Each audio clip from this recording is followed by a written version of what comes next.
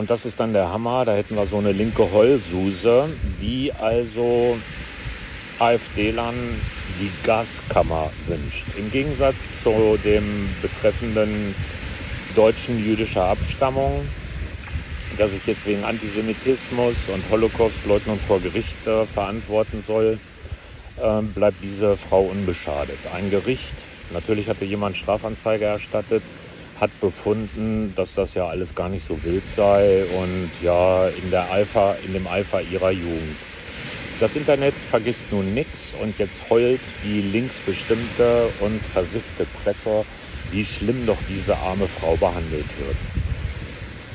Das ist ein Skandal ohnegleichen.